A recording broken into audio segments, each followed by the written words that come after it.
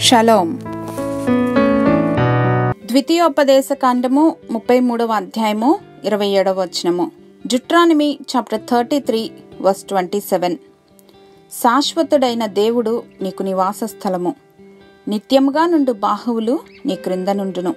The eternal God is your refuge and underneath are the lasting arms దైవజనుడైన మోషే అంటున్నారు ప్రభువా తరతరముల నుండి మాకు నివాస స్థలము నీవే అని. శాశ్వతుడైన ప్రియ పరలోకపు తండ్రి మనకు నివాస స్థలముగా ఉంటే నిత్యమైన ఆశీర్వాదాలు నిత్యము నిలిచి ఉండే క్షమాపణ నిత్యమైన వాగ్దానాలు నిత్యమైన శక్తి నిత్యమైన పరిశుద్ధత మన సొంతమవుతాయి. మన పోరాటాలలో మన పక్షమందు నిలిచి మన తరపున యుద్ధములను జరిగించే దేవుడు. సాహస కార్యములను చేసే దేవుని దక్షిణ హస్తము క్రింద ఆయన బలిష్టమైన రెక్కల క్రింద కోడి తన రెక్కల క్రింద తన పిల్లలను కాచినట్లు కాచే దేవుడు కాపాడే దేవుడు.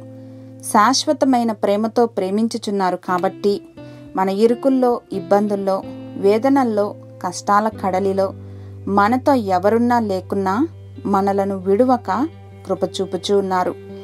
నశించిపోయే లోకంలో ఉన్నదంతా కూడా క్షేమైనదే.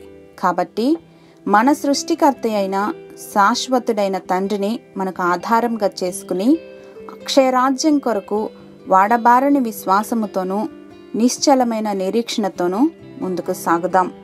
శాశ్వతుడైన మా తండ్రి మీ నిత్య కృపతో మాకు అనుగ్రహించిన ఈ జీవితమును బట్టి యేసు కృతజ్ఞతలు చెల్లిస్తున్నాం మా తండ్రి. ఆమెన్.